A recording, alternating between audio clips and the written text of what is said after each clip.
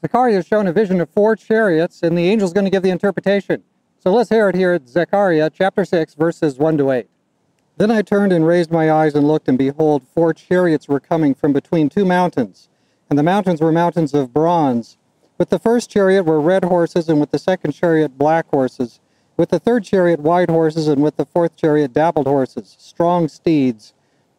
Then I answered and said to the angel who talked with me, What are these, my Lord? And the angel answered and said to me, These are four spirits of heaven who go out from their station before the Lord of all the earth the one with the black horses is going to the north country, the white are going after them, and the dappled are going toward the south country. Then the strong steeds went out, eager to go, that they might walk to and fro throughout the earth. And he said, Go, walk to and fro throughout the earth. So they walked to and fro throughout the earth. And he called to me and spoke to me, saying, See, those who go toward the north country have given rest to my spirit in the north country. So this vision is kind of similar to the very first vision Zechariah had back there in chapter 1. The, uh, there was four horses there. These ones have chariots.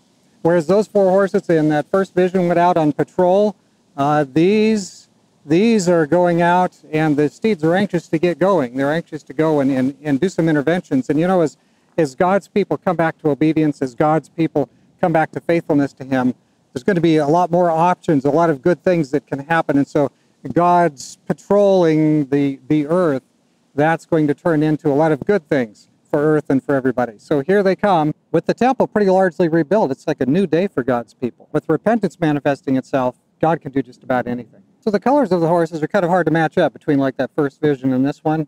And not really any particular details given hardly in any of the colors. So I don't think it's probably not that significant since it doesn't really pertain to anything. It's uh, the red horse is always the leader, but other than that, we don't see a lot. The neat point really comes at verse 8, where it says that after God's agents go out, that they, they're, whatever they do there, it gives him rest, it gives his spirit rest in the north country. So God is out there, he's intervening here in planet Earth, he's doing stuff, and he's providentially intervening. He has angels, he has, he has human agents who intervene. So it's interesting the north country is especially mentioned. And you know, this is in the Fertile Crescent up there through Iraq, today's modern day Iraq and Babylon, that was all back there. So whenever the Babylon would invade, they would always come in from the north. So he says that these chariots on patrol have given his spirit rest in the north country. And of course, this is the relief of all that pressure from Babylon as the exile has ended and now uh, people can return to Jerusalem. God is working providentially across the planet. He's intervening in the affairs of men. He chooses the rules by which he intervenes or, or does not intervene. Key question is always whether he has people who will team up with him and cooperate with him or not. The question is whether human agents go off into their own private agendas or team up with God's, God's plan. If they go off in their own selfish confusions or find out what God teaches and go his way. When we choose to do our thing instead of God's thing, you know, his goals are replaced by our goals, and he can hardly work with that. We set his purposes back because he would prefer to work with us. I guess everybody's going by their own drummer, and there's a lot of people listening today to the secular drummers.